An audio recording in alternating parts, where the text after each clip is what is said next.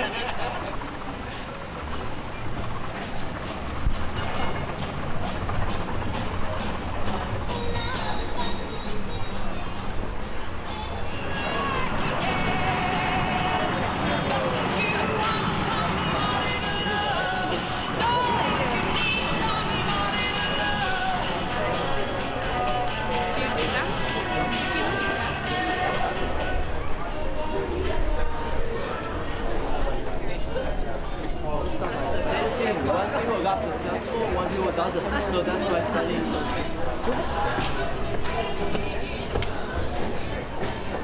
And welcome to the Great Wheel. The wheel is gonna spin around about three times. If you need any help, press this red button over here. Alright, enjoy!